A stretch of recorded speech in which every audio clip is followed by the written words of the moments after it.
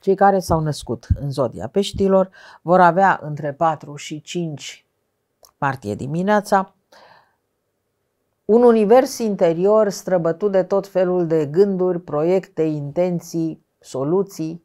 Mecanismele de gândire vor funcționa din plin, mintea lor va forfoti, vor fi atât de activi și de prezenți și de cuplați la o serie de probleme ale existenței lor, încât uh, nu vor dormi sau vor dormi puțin sau se vor ocupa întreaga zi intens, atât de intens încât ideile acestea îi vor urmări și în puterea nopții. Atenție totuși că din punctul de vedere al sănătății există o supraîncărcare pe sistemul venos, privește circulația periferică, fiziologia aparatului locomotor, respectiv a picioarelor și felul în care se reflectă fiziologia sistemului nervos la nivel cerebral. Nu doar la nivelul gândirii, ci pur și simplu mecanisme cerebrale obișnuite.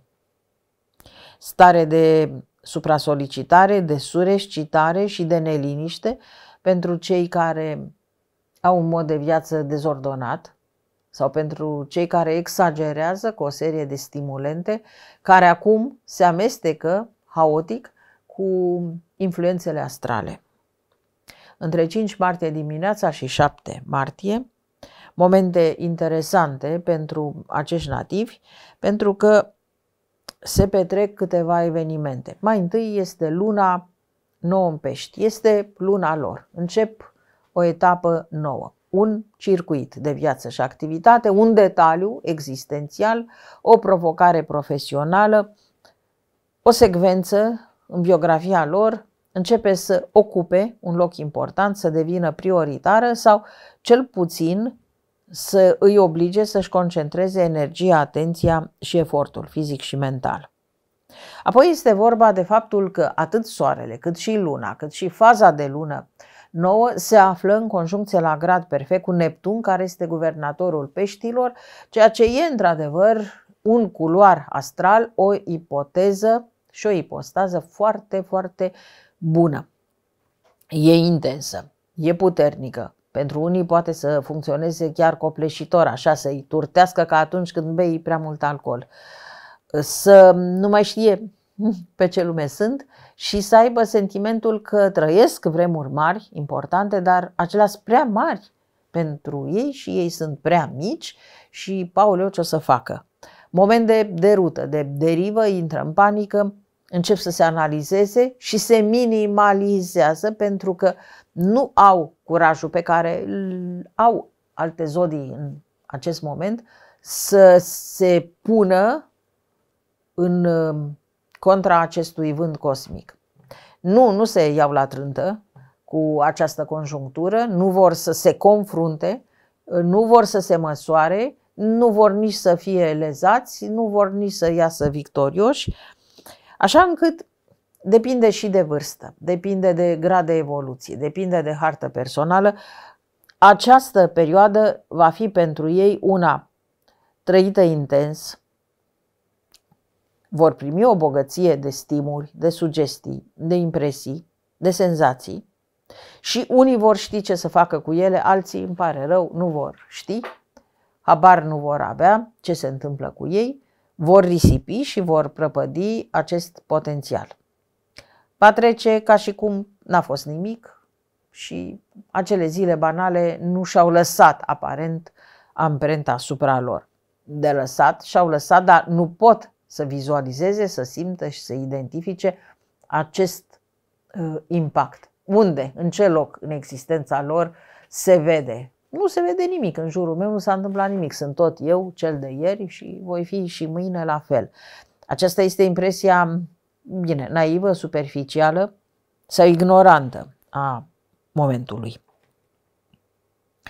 Sunt de luat în calcul și evenimentele care se vor derula din 6 martie, timp de 3 săptămâni, pe fondul intrării planetei Mercur în mișcare aparent retrogradă, se află în tranzit în pești, și îi pune pe pești la grea îndoială. Tot timpul se vor întreba, tot timpul se vor mira, tot timpul se vor îndoi de ei, de lume, de univers, de, eu știu, apa caldă de la robinet.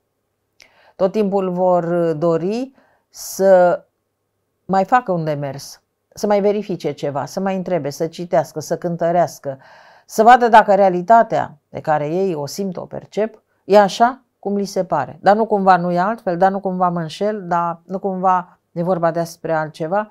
O nesiguranță majoră nu atât de sine ca persoană, cât de simțurile lor, de impresiile lor. Ba culmea, acum, în acest moment de maxim subiectivism astral, pe pești îi bântuie obiectivismul. Vor să fie cât mai corecți, cât mai atenți, să nu greșească, tocmai pentru că undeva vedeți, degeaba zic ei că nu-mi pasă de contextul astral, simt că este acest risc.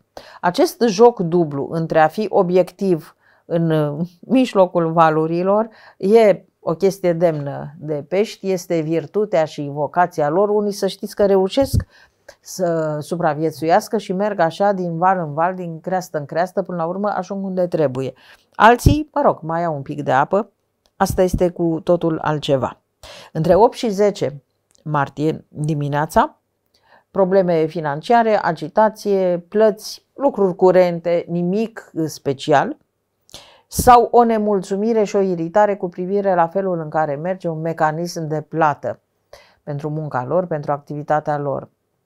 Dar nu este momentul în care ei să iau o decizie. Oricum, ceea ce se întâmplă pe sectorul pești este de natură să-i țină captivi în acest spectacol uriaș al unei mări învolburate, că liniște nu e. Începând cu 10 martie dimineața, pe Casa Comunicării, se produc o serie de evenimente care au o importanță. Unele, poate chiar pe moment, firește, importanța majoră e pentru viitor. Mai întâi este vorba de o reprezentare specială cu privire la informația, instrucția și valoarea lor.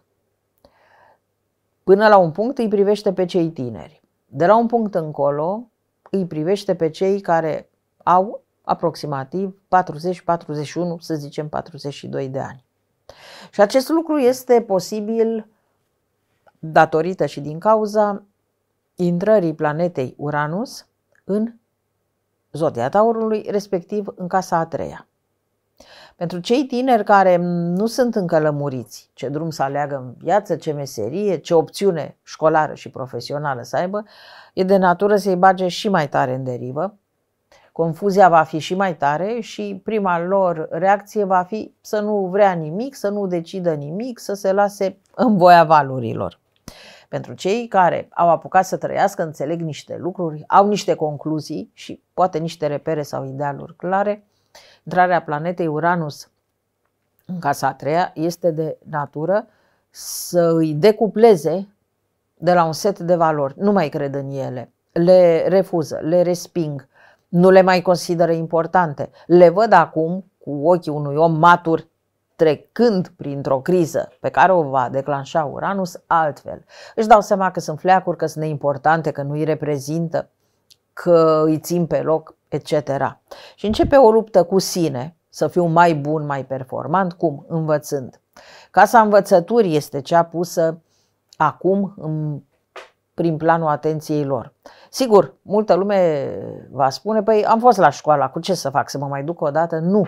Problema este că școala odată asumată ca etapă de viață, că nu poți să te duci la grădiniță la 25 de ani sau la 30, este evident că pune o problemă de asimilare și de cunoaștere sau de a fi în contact cu surse de informare altele decât școala, gimnaziu sau liceul.